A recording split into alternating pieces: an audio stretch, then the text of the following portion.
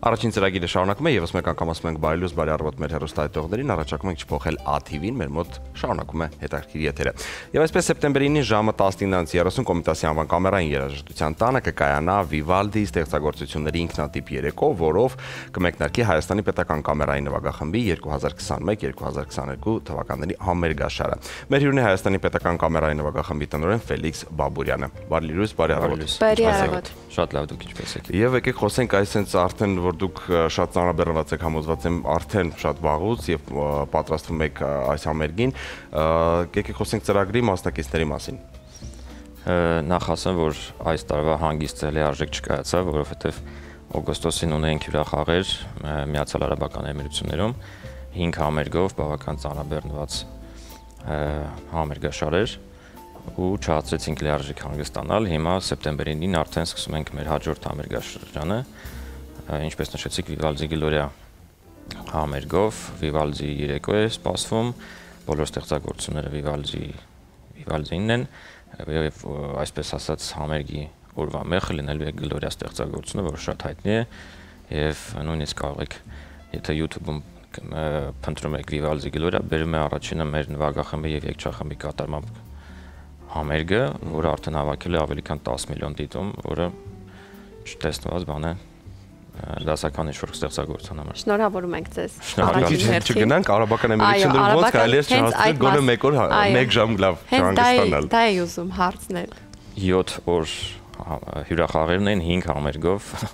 ամեն օր փորձ համերգ, փորձ համերգ եւ այդ պատճառով տենց չկարողացանք նույնիսկ Խոսեցինք նաև եթերից դուրս, որ Ջոկեր ֆիլմի Այո, համերգ երկու համերգը Դուբայ Դուբայ օպերայում էր, Ջոկեր ֆիլմներ ցուցադրվում եւ այդ ֆիլմում հնչած երաժշտությունը նվագվում էր կամերային նվագախմբի կողմից։ Իհարկե ընդլայնված էր կազմը մի փոքր, որովհետեւ կամերային կազմի համար չէր դա, բայց հիմքը կամերային նվագախումբ։ Հոլովակի տեսքով կամ տեսան տեսքով հնարավոր է YouTube-ում դա գտնել։ Չեմ կարծում, որովհետեւ չէր թույլատրվում նկարահանել, նույնիսկ մեզ չէր թույլատրվում։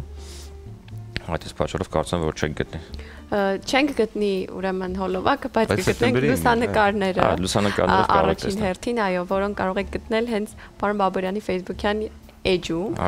Պարոն Բաբուրյան հոկտեմբեր ամիսը նույնպես բավականին աշխատանքային բազում մեծ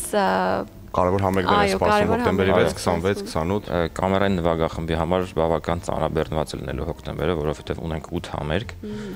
սովորաբար այդքան չի լինում համերգներ մի ամսվա ընթացքում, բայց կարծում եմ, որ դասական երաժշտության լավագույն ստեղծագործություններից մեկն է լինելու այս տարի հոկտեմբերի 6-ին Արամ Խաչատյան համերգասրահում կատարելու ենք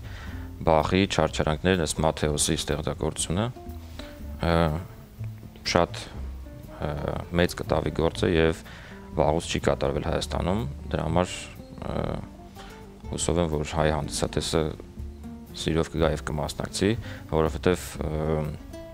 դիրիժոր ունեն Գերմանիայից, մենակատարները գերմանացիներ են եւ երկու նվագախումբ է լինելու, 3 երգչախումբ, բավական մեծ։ Սա խոսում ենք հոկտեմբերի մասին։ Հոկտեմբերի 6-ի մասին, այո։ Նշեցիք 8 համերգ։ Դուք լինելով որպես տնորեն, որ տարիքային լսարանն է հիմնականում գալիս ձեզ լսելու եւ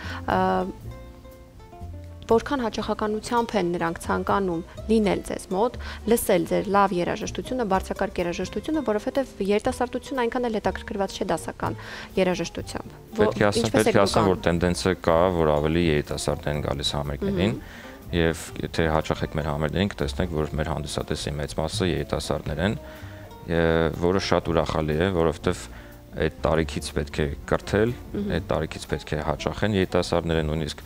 աշակերտները մենք ունենք ծրագիր, որ աշխատում ենք արվեստի դպրոցների հետ, երաշտական դպրոցների հետ, որտեղից աշակերտներ երիտասարդներ գալիս են մեր համերգներին։ Իսկ ինչպիսի նոր նախաձեռնություններ կան, որոնք պիտի կատարածվեն արդեն։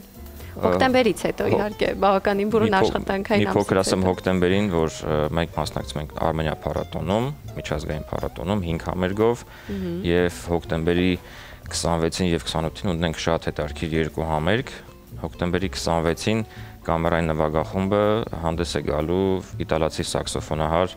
Ֆեդերիկո Մոնդելչի հետ եւ ծրագրում լինելու է Շարլ Ազնավուրի եւ Միքայել Տարիվերդիևի ստեղծագործությունները նոր մշակմամբ կամերային նվագախմբի եւ սաքսոֆոնի համար իսկ հոկտեմբերի 28-ին ունենք համերգ նվիրված Աստոր Պիացոլայի հարյուրամյակին, իտալացի ակորդեոնահար Սիմոնե Զանկինի եւ Ֆեդերիկո Մոնդելչի մասնակցությամբ։ Իսկ այդ ընթացքում պարային ոչ մի ներկայացում չեք որոշել։ Տենց մտքեր կային, բայց դեռ մշակման փուլում է։ Հնարավոր է նաեւ որ լինեն։ Ահա։ Ամփոփելով օրինակ հիմա խոսում ենք մենք 21-22 թվականներից համերգաշարի մասին խոսենք 2022-ին ինչ է սպասում թե դեռ վաղ է խոսել դրա մասին։ Չէ, վաղ չէ խոսել, որովհետև ը, 22 թվականին լրանում է նվագախմբի 60-ամյակը, պետք է մեծ շուկով նշենք, մեծ բռնես մեծ պրոյեկտներ են նախատեսված, հյուրախաղեր են նախատեսված, այնպես որ մենք հիմա արդեն աշխատում ենք այդ հաջորդ տարվա համար եւ այս տարվա մեջ մինչեւ դեկտեմբեր նախատեսել ենք մի ծրագիր, որ կոչել ենք մենք հայահավաք եւ հրավիրում ենք հայ դիրիժորների եւ արտիստների արտասահմանից, ովքեր վաղուց չեն եղել Հայաստանում կամ եթե եթե կան դիրիժոր, որը երբ երբեք չի եղել Հայաստանում։ Մենք հրավիրել ենք նրանց, ոնց որ Միսակ Բաղբուդարյանը, Լյուկ Բաղդասարյանը եւ Նուրհան Արմանը։ Այս դիրիժորները գալու են Հայաստան եւ մինչեւ դեկտեմբեր ունենալու են 3 համերգ իրենց հետ։ Այսինքն ինձ հետաքրքիր են ինչպես էլ ստացվում համագործակցությունը հեշտ են համաձայնվում արդյոք թե երկար փուլեր են անցնում խոսակցությունները բանակցությունները շատ արագ չեն, որոշակի փուլ կա ը, խոս- խոսելու նրանց հետ համաձայնության գալու, որովհետև հայտնի արտիստներ են, իրենք ունեն իրենց գրաֆիկը եւ ոչ միշտ է համընկնում մեր ազատ գրաֆիկի ազատ օրերի հետ, բայց քննարկման փուլում գալիս ենք հեշտ լուծման։ Դրա համար այդ արտիստներին մի փոքր դժվար է հրավիրել, որովհետև գրաֆիկը խիտ է լինում, բայց մեզ հաջողվել է այս տարի բոլորին արդեն հստակ դատաները ֆիքսել։ Հայաստանից դուրս կան ծրագրեր մեկնելու, մասնակցելու ինչ-որ փառատոների եւ այն թե ոչ։ Այո, հաջորդ տարի ունենք մասնակցության հրավեր Ֆրանսիայից եւ Շվեյցարիայից։ Իսկ կան այն տաղանդավոր երաժիշտներ, որոնց հետ ցանկանում եք դուք համագործակցել, աշխատել, բայց իրանք մի փոքր անհասանելի են դեռ ձեր համար։ Այո, ցավոք սրտի այդ խնդիրը կա, որովհետեւ ամեն ինչը գալիս է կանգնում է ֆինանսավորման առաջ։ Ֆինանսական խնդիրներով է պայմանավորված գերաստղերի հետ համերգներ ունենալը։ ինչու պիտի գան հենց ձեր համերգին? Խոսքը սեպտեմբերինի մասին է թե առհասարակ։ առհասարակ ինչու պիտի գան հենց ձեր երաժշտությունը? այո հանդիսատեսը ինչու պիտի հենց ձեզ լսի Գիտեք, կամերային մենք Հայաստանում ունենք 4-5 նվագախումբ, բայց կամերային նվագախումբը տարբերվում է իր ժանրով։ Կամերային ժանրը տարբերվող է եւ մենք կարող եմ ասել, որ ունենք մեր հանդիսատեսը։ Որոշակի հետաքրքրություն կա կամերային ժանրի նկատմամբ, դե այդ պատճառով կարծում եմ, որ մեր համերգներին հան- հա-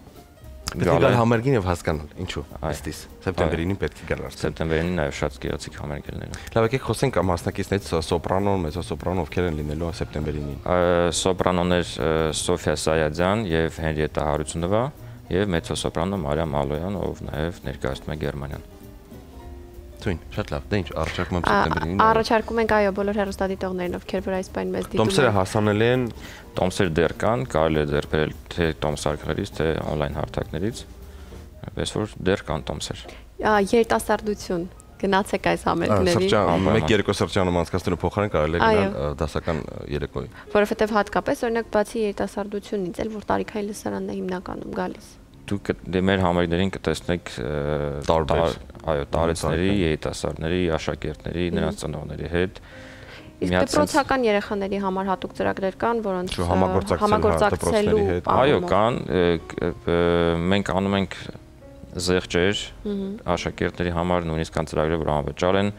կան ծրագրեր, որոնց դեպքում մենք հրավիրում ենք երաշտական դպրոցների երեխաները, որովհետև մենք ունենք ծրագիր, որ կոչվում է ճանապարհ տաղանդներին,